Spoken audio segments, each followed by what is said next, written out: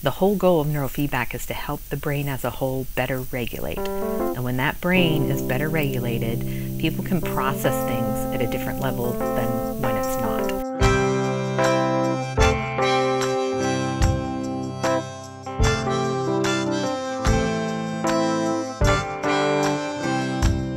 Welcome to Talking About Kids.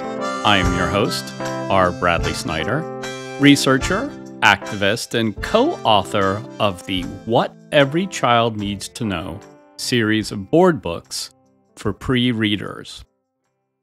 When Bessel van der Kolk says that neurofeedback has the potential to help kids reshape their brains to be more regulated, more open to new experiences, well, one takes notice.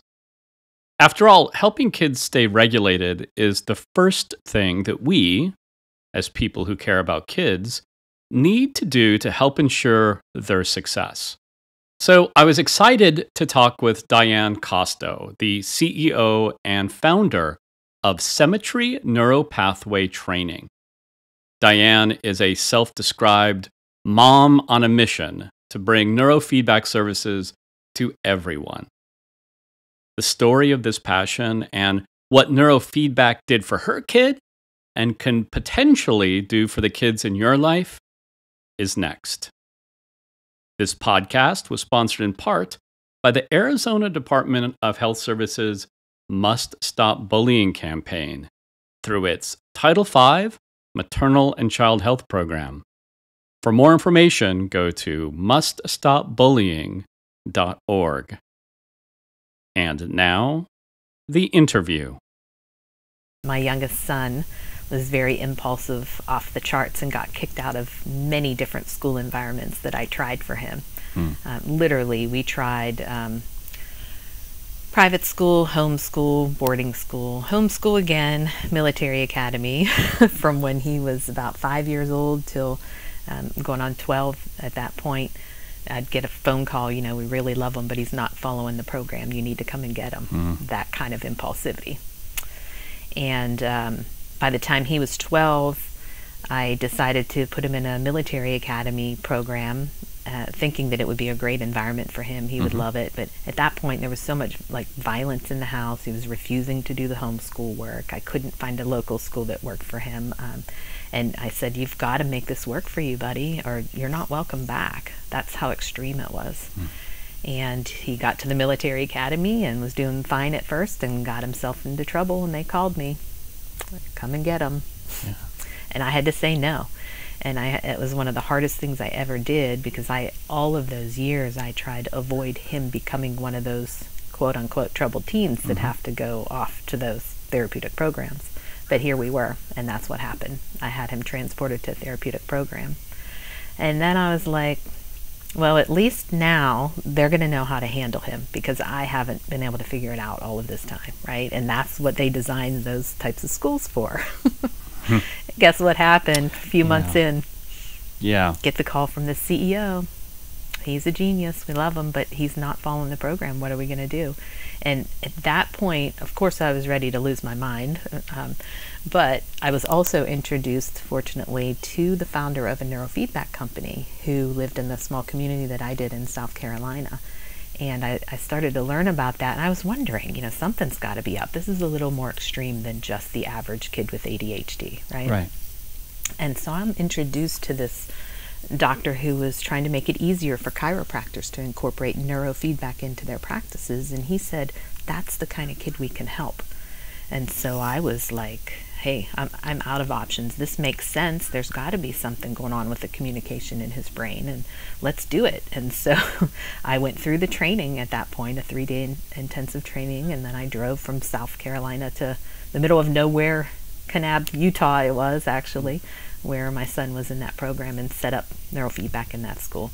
That's how I became interested in neurofeedback. Wow.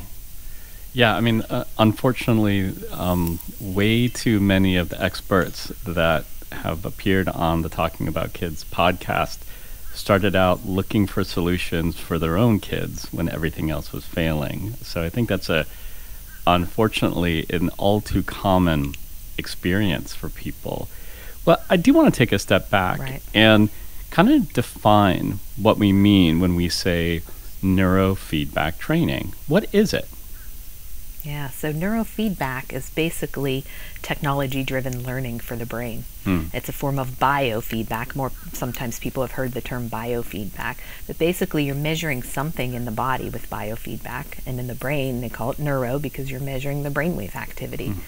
And then the technology gives that individual some information on what's going on in their system. So there might be heart rate variability training for biofeedback, or it may be skin temperature response training, and in the brain, it's brainwave training. So uh, the person in the sessions would be just kicked back. There's a couple sensors on their scalp.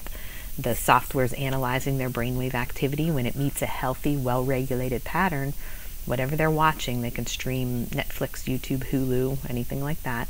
The software will put an overlay over top of it and it'll play a little bit brighter and louder so they can hear it and see it better when their brain's meeting the pattern that we want to encourage. And then it goes dimmer or quieter when the brain's not producing a healthy pattern. So that's the feedback part. It's rewarding the brain um, to produce that healthier pattern. And the brain, it's a natural process because we want to hear things better and see things better when we're interested in it. So the brain will figure out what patterns it has to create in order to see it better. So Now, that's it. yeah. It, so I have a, I have a bunch of questions. Um, Great. One question I have is when the subject is hooked up and they're getting that feedback on their brain waves, are you giving them any sort of prompts to how to control or things that they might do to gain control over those brain waves? Through the system that I use, we just want them to relax Okay. and let their brain and the software communicate because it's too complicated to really feel or sense Hmm. what patterns they're you know producing in their brain. Way back when in the 60s, 70s when neurofeedback just started and they would use maybe just one component band of Right. brainwave activity, you might be able to kind of sense when you were in that zone producing more, like a hyper alert Yeah. or a more relaxed state. But now, the complexity and what we've understood that the brain can actually handle, it could be as detailed as increase 8 to 11 hertz frequency and reduce, you know, 15 to 20 uh, one site over here on the left side and then a, a whole other combination on a site over on the right side.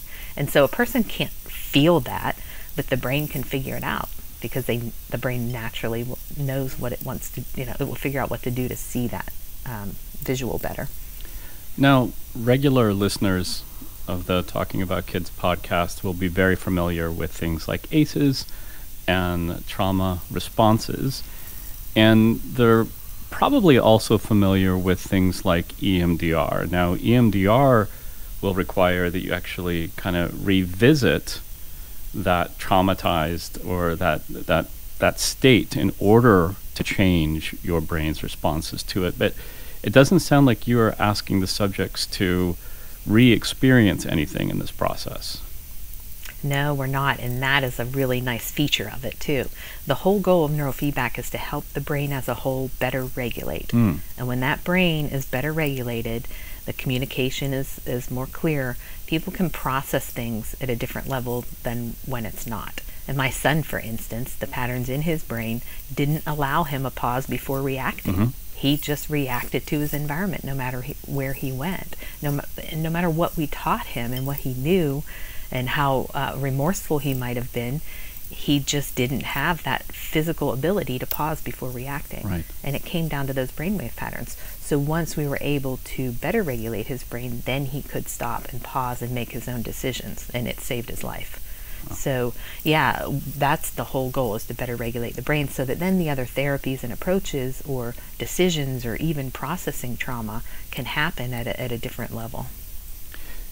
So let's talk then about the kinds of kids that would benefit most from this. So obviously that that ability to regulate is so critical. That's something that we've also talked an awful lot about on this podcast. Um, so is it I, I know that you were open that your son had ADHD. That was a diagnosis. Is in more general terms, what sort of kids benefit most from this kind of therapy? Mm-hmm. And just a note, I didn't really have my son formally diagnosed. Mm. Um, because he came across as just a 110% boy with a bad attitude and kept getting oh. labeled and kicked out. More of like an oppositional type thing. Okay. Um, he had been to a pediatric neurologist because I, he was so extreme at, at some points that I thought maybe there was Tourette's mm. involved. And she medicated him for a time period, but he was not formally diagnosed. Um, because the way he presented yeah. as the little tough guy, you know. I apologize. Um, I thought I had read that, that in your no, bio. I apologize. No. That's okay. He would have typically been if uh, probably mm. if I went the standard medical route to, you know, they probably would have pegged him with that. But I just kept trying to find places that would work for him, and I wasn't a real big fan of the diagnoses and the and the letters and everything. Um, but that being said, that is one of the most popular things that people come to us for is focus and attention issues, and that was some of the early research that was done in the 60s and 70s with neurofeedback. But really, um, we have professional athletes using it mm-hmm. now, Olympic teams using it, uh, special forces, uh, business people to up their game. Um, but most common we're seeing now is anxiety mm-hmm. above all even the kiddos and the adults that come to us for focus and attention issues, we see often patterns of anxiety in their brain maps. Oh, so I think this is a, a, a really great segue because, you know, I kind of want to walk listeners through what they might expect if they're going to sign up for this because one of the things that we know is that even when we recognize that this is a, a treatment, a therapy, a program that we should engage. Um, we can it can be so scary to try something new, to take a, that first step into the office or enter a new therapeutic environment. So if if I decide that this is something that would would work for me or for my kid, what should I expect? Mm-hmm. So um, in my uh, the way we provide it with symmetry neuropathway training mm-hmm. is very non-medical, very um, technology-driven learning, uh, mm-hmm. layman in a sense. Because I'm a mom on a mission. I didn't. I was not in the medical field, so I'm not doing therapy. We're just using this tool to help better regulate the brain. So we really like to keep it a nice, relaxed environment. Most of my offices I have actually personally closed, and I help other providers provide, and we are in therapeutic programs in schools and we have home training. So, how that looks is we have the software that's made specifically, very simplified, to be used at home. We will um, have an initial conversation with you when you call in, set the expectations, make sure it's a good fit for you. We um, then prepare the equipment, send it out to you. We do an onboarding call to let you meet everybody on the team, who your coach is going to be, our case managers who are managing it behind the scene, and what for you to expect, you know, and we'll help you map your child or yourself at home while we're zooming in with you. Mm-hmm. It's the beauty of technology now. Um, and we show you where to place the sensors and you open up the software and click you know four different steps plug in the amplifier test your connection, open up what you're going to watch, and hit start. And you have a very simplified version happening in front of you where you're just having that fading and the signal um, check is on there too if you need to just double check how much time you've been training mm-hmm. or what your signal looks like and that's it you do that you know daily or a couple times a day with the coach's assistance they'll they'll let you know how long and um, it's a very simple process for people and so when you say the placement of the sensors the what I think the the pictures I've seen it, it sort of looks like a swimming cap. Am I correct? Yeah, that's the, well, that's the beginning part. So we use that looks like the swimming cap mm-hmm. with the 19 different sensors in it to do the initial mapping of the brainwave activity. Okay. So in that instance, that's kind of the first step along with some assessments that you do online. We take recordings with that cap on with your eyes closed and then with your eyes open and then that data gets compared to a normative database mm-hmm. so that we can find out what areas of brain are functioning well and which areas are off. And we have a really simplified report that will show that and it gives people so much hope to finally have something measurable you know mm-hmm. if they've struggled with irritability or anger or you know attention or focus issues impulsivity and we can show them something now that's concrete mm. and here this is why you've been struggling with this there is a physical reason that your mood regulation is, is off and, and then you know the hope is there because we know that we can better regulate the brain through this process. And in terms of dosage, so how many times, uh, like how often uh, do you recommend doing this? Does it change over time? And, you know, how quickly can people expect to see benefits? Mm-hmm. With the in office, we people we always recommended two to three times a week. But With the home training, we're finding that people can even do a session daily or and work up to twice a day. Mm. It's kind of like learning to play a musical instrument. The more you practice, the more your brain's going to learn it, and you don't have to think about it as much, right? So um, we just with coaching people, you can gradually build up. And some people will notice a calming and maybe sleep better pretty early on, but we do like to tell people to be patient. It's okay. not a magic pill or a quick fix. It takes time for the brain to learn the new patterns, just like it takes time to learn anything else, like riding a bike. So we give give them a kind of a goalpost of give it at least 15 sessions. Mm-hmm. Um, but we are tracking their progress all along the way and my case management team is in there every 10 sessions looking at what their brain waves actually did throughout those sessions too. Oh, okay. So if I'm doing this at home or if I purchased this for or is it or subscribe to this for um, my out of school time program or my my classroom, then there is support that you're providing on the back end. Is that correct? Absolutely, absolutely. And that's the key to it. You don't want to just send this technology out and let anybody do what they want with it. It's very beneficial and it's non invasive, but you've got to have that coaching and, and some case management behind the scenes to make sure the protocols are correct for that individual. Are you seeing, as you've been looking at this data, because uh, you you've been doing this for a little while now, right? This isn't this isn't brand new. 13. When did you start? yeah, yeah, it was about 13 years ago when my little guy was in that uh, yeah. therapeutic program. Yeah. Uh, and I started there and lived there for five months. Yeah.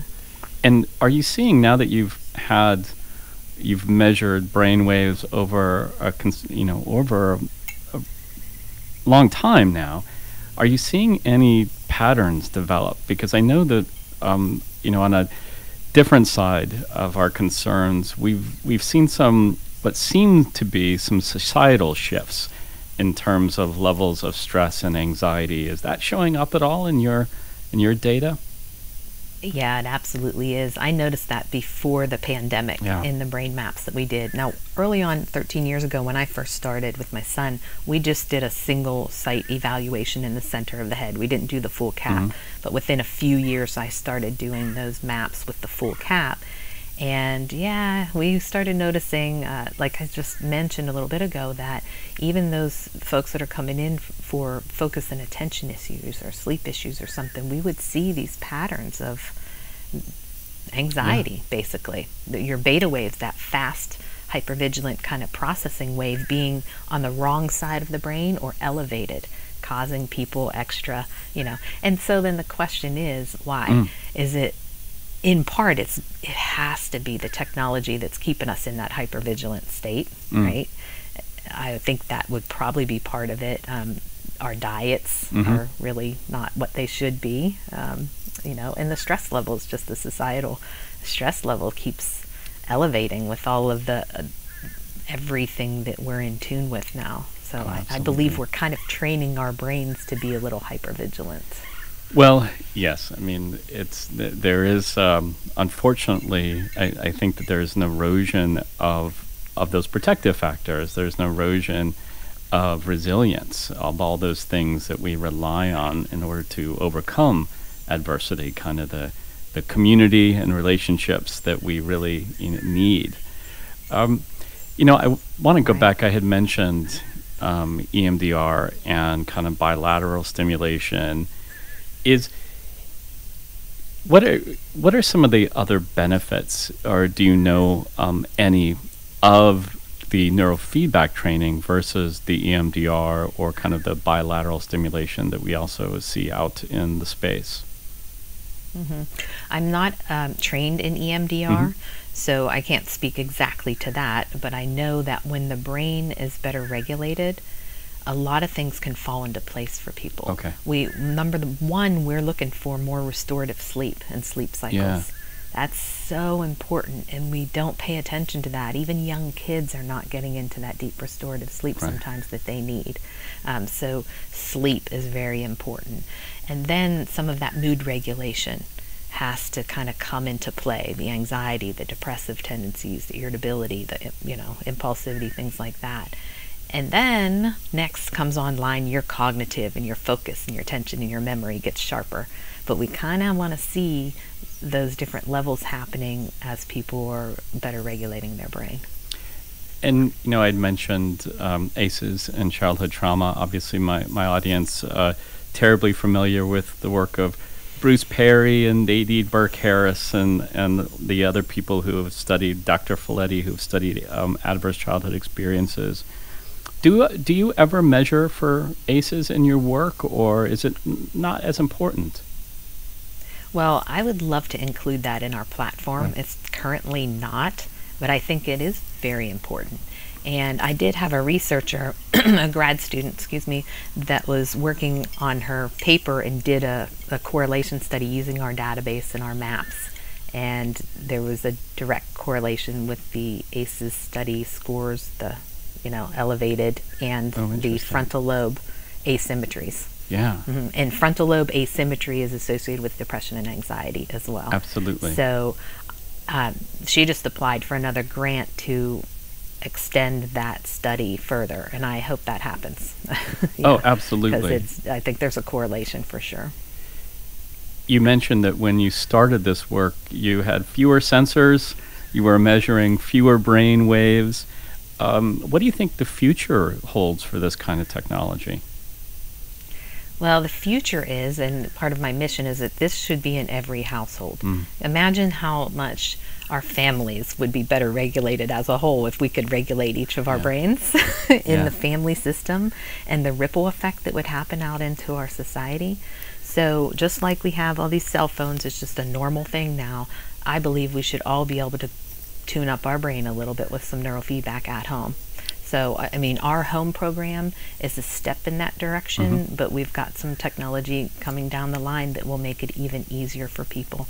And uh, we need to get it out there from from the bottom up, from the families and the, the parents uh, up, because it's not coming from big pharma down, you know. well, and and not to put you on the spot here, but but I think that you raised this topic. Um, have you undergone it yourself? Oh, I have. Yes, yes. Thankfully, um, probably not. You know, as soon as I needed it, though. uh, it took me a while. it took me a while to stabilize my kid, and then I was on the rampage and the mission to get it out there and teach doctors and other people how to use it. And um, for me personally, I've done a lot of sessions. Um, and one of the biggest things that it's helped me with is restoring that sleep cycle mm. that I didn't know was terrible all of my life. And um, I got knocked off my feet with an autoimmune disease when I was 19. Mm. very sick, c- considered disabled actually, that bad. Rheumatoid arthritis, all that kind of mm. stuff. Um, and so suffered for very many years in a high level of pain. And now I believe because I've restored that sleep cycle, my body can heal at night. Yeah. And it's starting to regulate my whole system. So my pain levels are minuscule compared to what I suffered with for decades. That's amazing. Yeah. That's amazing. No, it, it all seems more and more connected, doesn't it? I mean, that's where the research yes. seems to be going. It, it's quite interesting. It really is. Yeah, it affects your whole body, everything, you know. And I, I confess, I don't know the literature um, on neurofeedback as well as I would like to. I, I've only been able to read a few studies of it, but it also seems that even a few training sessions, um, because of neuroplasticity, they seem to the uh, the results seem to last. That this isn't something that this continues for a long time, as you just mentioned. Yeah, yeah. The key study that I always um, think of is one that showed that there are changes in the gray and white matter of the brain yeah. after 20 neurofeedback sessions. Yeah. So 20 typical sessions, maybe 20 to 30 minute sessions. There are physical changes in the gray and white matter of the brain. And yeah, that doesn't change just like when you learn to ride a bike. You yeah. kind of retain that. You might be wobbly if you haven't gotten on it for 20 years, but you still remember it. So that's what happens with the learning process and the neurofeedback process. We are creating new pathways in the brain that will last Now, people do have setbacks. If they are in a car accident, they're exposed to toxins, they're in extreme stress, they may feel a setback, but you're right. Those those pathways that were created really don't just go away. I, I think we've read some of the same studies. I, I also read that there are some people that don't respond. It's a it's a small percentage, uh, according to the most recent literature. Um, do you have any insights about the people that don't get as much out of this? Yes, yes, and and very small percentage Yeah. with the technology that I've used. Okay. Um, and so maybe five to seven percent, Mm. I would say, don't respond. And normally that will be somebody that is they have um, some type of metabolic issue that's Okay. not being addressed, like thyroid, adrenal. Something's off with that, Right. and we do have some screening to help refer out if we see indications of that. Okay. Um, the other person would be somebody that's under extreme stress. Okay. So we'll have kids that kind of progress along and then they have a bit of a setback and they progress Okay. along, they have a setback. And then we end up discovering they're being bullied in school. Mm. Or there's some, some other thing happening, or if you're toxic, you know, marriage or something will definitely make it difficult for somebody to progress. Um, those are two of the most uh, common ones, and then there are the people that really just um, they're improving, but they're not seeing it. They're kind of attached to who they are. Oh, interesting. You know, Inter- Yeah. uh, So, you know, are you? Do you encourage your your um, your subjects to continue with their traditional therapies while this is going on? Sure. Yeah, that only enhances the traditional therapy. When you start to better regulate the brain, sometimes that um, they can process what they've been learning in the therapy that they, they just Right. couldn't get before, or get past that stuck point. you know, it's definitely therapists love it for the stuck clients that seem to, you know, can't get past a certain level. And like my kiddo, Yeah. I think all of those years he absorbed so much information from all of these different environments, different parenting techniques, different um, cultures that he was exposed to, but he couldn't do anything with that until we better regulated his brain. And now he's one of the most disciplined people I know. Wow.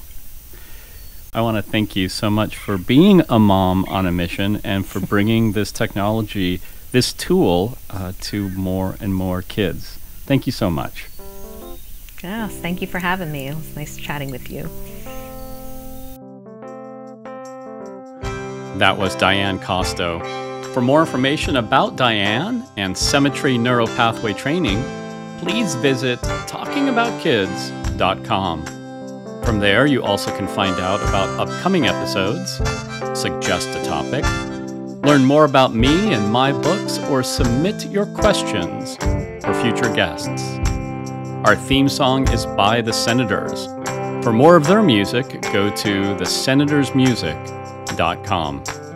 And remember, kids are young goats and young children, and the difference is that young goats are easier to manage.